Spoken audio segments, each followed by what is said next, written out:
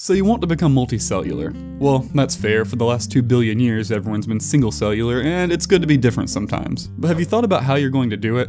No?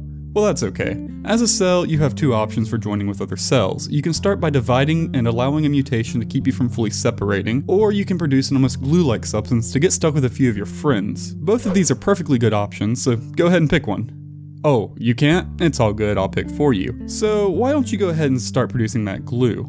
Great. Now that you have produced the glue, other cells will join with you. Right off the bat, the advantages of being multicellular are clear. You stop worrying about everyone eating you because you're the biggest thing around, and whoa, look at that, you're getting a lot more energy. That's because you're floating to the surface of the water where the sun is more direct. Pretty amazing, right? But hey, look at that guy over there, what's his deal? He isn't making any glue, that selfish jerk.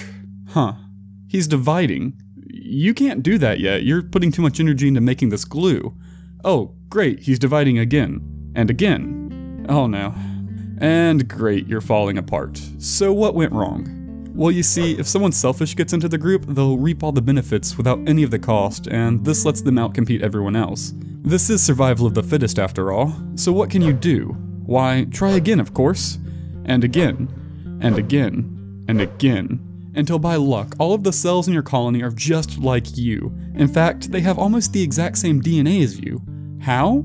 Well, because earlier you and them were the same cell that divided apart. But hey, this is great because evolution doesn't care if you survive, it just wants your DNA to be passed on. So if any of these guys survive, they'll pass on the same DNA. Now that everyone is together, and over the course of a few generations, you'll start to notice a few changes. Some of the cells close to you are investing energy into becoming tougher. Oh, they're forming a protective skin around everyone. Well, this is great, but the downside is now they can't grow as fast as you, so in theory, you could outcompete them. But of course, this thought never crosses your nucleus because in your DNA, there are a few genes that tell you to never do this. And because everyone has the same DNA, they also have the instructions to never do this. That seems fair enough, but something has come up. You, my friend, are starting to get old, and you're becoming less efficient. While you might be able to scrape by much longer, your DNA is telling you to die, so you kill yourself.